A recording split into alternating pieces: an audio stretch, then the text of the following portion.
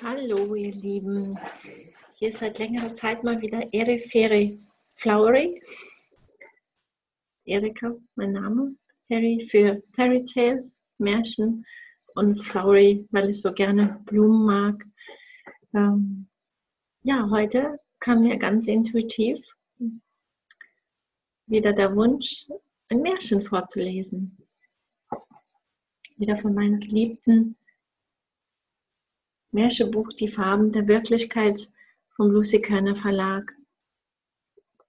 Und diesmal ein Märchen, das heißt Die bezauberte Frau von Roland Kübler.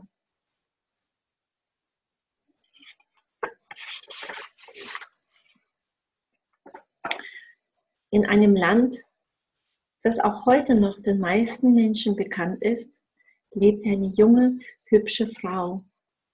Viele Männer blickten ihr hinterher denn da war etwas an ihrem Gang und an ihrer Art, mit den Augen Geschichten anzudeuten, das den Männern geheimnisvoll und lockend schien. Die Frau wusste um diese Wirkung, nahm die Komplimente und Blicke der Männer lächelnd hin, verwehrte jedoch allen den Zugang zu ihren wahren Inneren. Sie wollte den einen finden, der ihr alles geben konnte. Sie war auf der Suche nach ihrem Märchenprinzen. Lange Zeit war sie deshalb allein, saß oft abends in ihrem Zimmer und war traurig. Ihr Entschluss aber war unumstößlich. Mit diesen Männern, die ihr auf der Straße Andeutungen nachpfiffen, sie mit Worten umschmeichelten und ihr vieles versprachen, wollte sie nichts zu tun haben. Eines Abends jedoch, die Frau war auf dem Weg nach Hause und grübelte wieder einmal darüber nach, dass sie den Richtigen noch immer nicht gefunden hatte, sprach sie ein Fremder an. Dein Gang ist so müde und deine Wimpern wischen über Traurigkeit. Ich will dir etwas zeigen, pass genau auf. Er stellte sich unter eine kleine Straßenlaterne und murmelte seltsame Worte. Die junge Frau wurde neugierig Sie konnte sich nicht vorstellen, was sie jener seltsame Fremde hätte zeigen können. Plötzlich fuhr sich dieser durch das Haar und auf einmal schwebten aus seinem Kopf drei kleine, farbig glänzende Luftballons. Die Frau öffnete den Mund und staunte. Sie vergaß ihre Traurigkeit und schaute mit kindlich leuchtenden Augen. Der Mann lächelte sie an, murmelte ein Wort und sofort zerplatzten die drei Ballons. Aus jedem fiel ein kleiner bunter Blumenstrauß in die Hände des Mannes. Sachte überreichte er der atemlosen Frau die Blumen und lachte sie verschmitzt an. Siehst du, so einfach ist es, aus der Traurigkeit ein Lachen zu zaubern. Die junge Frau fand keine Worte, wusste aber plötzlich, das war keiner von diesen gewöhnlichen Männern. Noch am selben Abend beschlossen die beiden zusammenzubleiben. Die junge Frau war glücklich. Lachte sie einmal nicht, zauberte der Mann Luftballons aus seinem Kopf, die mit leichtem Knall platzten und leuchtende Blumen enthüllten. Mit der Zeit füllte sich die ganze Wohnung mit diesen Blumen. Sie wusste schon gar nicht mehr, wohin sie die neuen stellen sollte. Und eines Tages gefielen ihr die Blumen einfach nicht mehr. Auch die Luftballons gingen ihr mehr und mehr auf den Nerven. Sie hatte es satt, die ganze künstliche Farbenpracht jede Woche einmal abzustauben. Und außerdem hatte sie tags zuvor einen Mann kennengelernt, der über die Zauberei mit Ballons und Blumen nur hämisch gelacht hatte. Komm zu mir, wenn du einmal traurig bist, hatte er zu ihr gesagt. Ich werde dir ganz andere Sachen zeigen.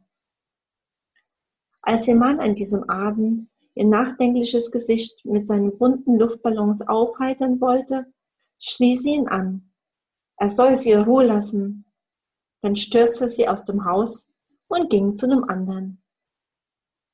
Weinend erzählte sie ihm von der Auseinandersetzung. Doch während ihr die Tränen aus den Augen rannen, murmelte der Mann einige seltsame Laute und strich ihr mit den Händen über die Augen.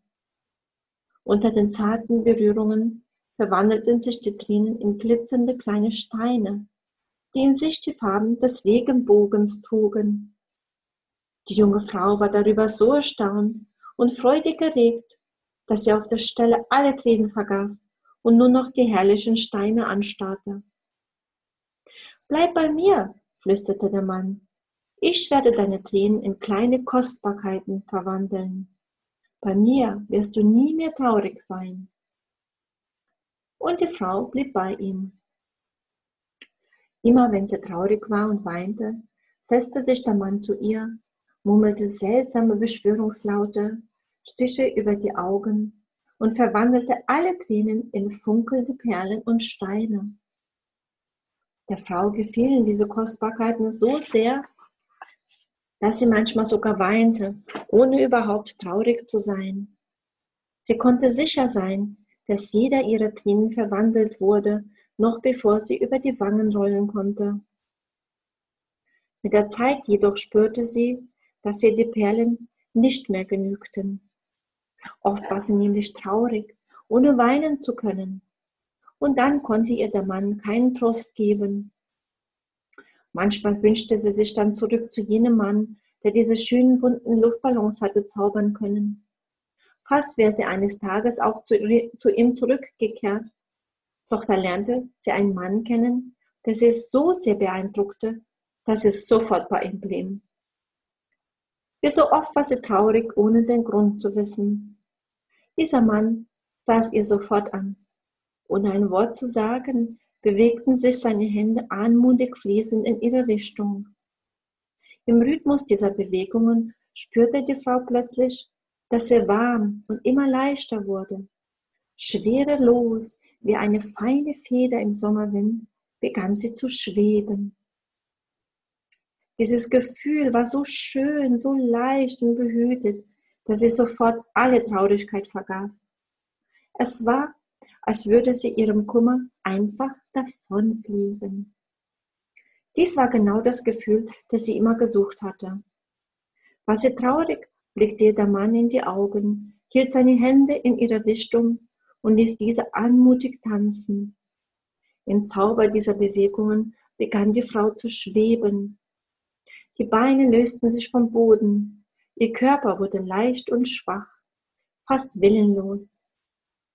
Das Gefühl war so herrlich, dass sich die Frau sehr oft wünschte, schweben zu dürfen.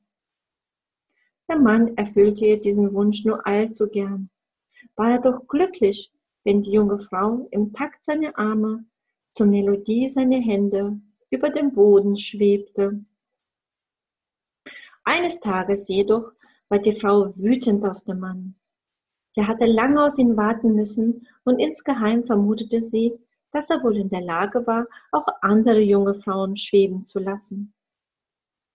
Als sie ihn jedoch zur Rede stellen wollte, öffnete er seine Hände und begann mit den zauberhaften Bewegungen. Ohne dass die Frau sich dagegen wehren konnte, erhob sie sich sachte in die Luft, fühlte sich hilflos und ohne Willen. Sie wollte schreien, aber kein Ton kam aus ihrem Mund. Sie wollte weinen, aber dies hatte sie schon lange verlernt. Sie wollte bitten, aber sie wusste nicht mehr, was das ist. Nur ein gequältes Lächeln gelang ihr. Daraufhin ließ der Mann sie wieder auf den Boden sinken. Ohne ein Wort stürzte die junge Frau aus dem Haus. Erst in, einem, erst in einem nahen Park verlangsamte sie ihren hastigen Lauf. Abgekämpft und zwar verzweifelt ließ sie sich auf eine Bank sinken, schlug die Hände vors Gesicht und schluchzte in ihren Körper hinein. Als sie schließlich aufblickte, erschrak sie.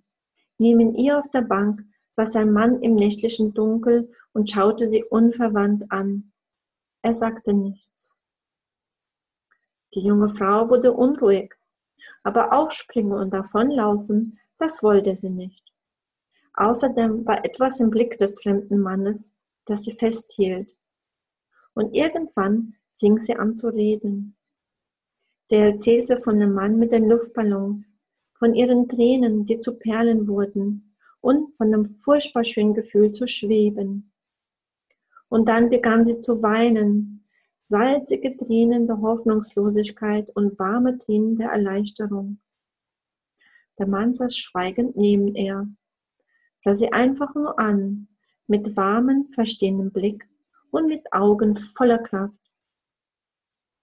Erst als sie ausgeweint hatte, bot er ihr seine Hand. Zögernd legte sie ihre Hand in die seine. Ihre Finger berührten sich, fassten Vertrauen zueinander und hielten sich fest.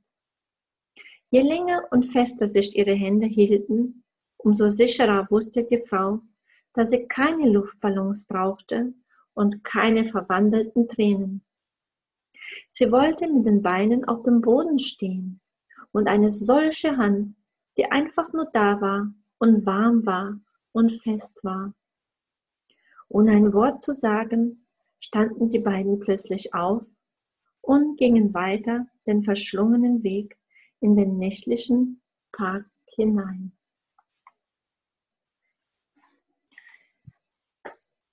Ich hoffe, euch hat dieses Märchen genauso gut gefallen wie mir. Alles Gute, Lieben. Tschüss.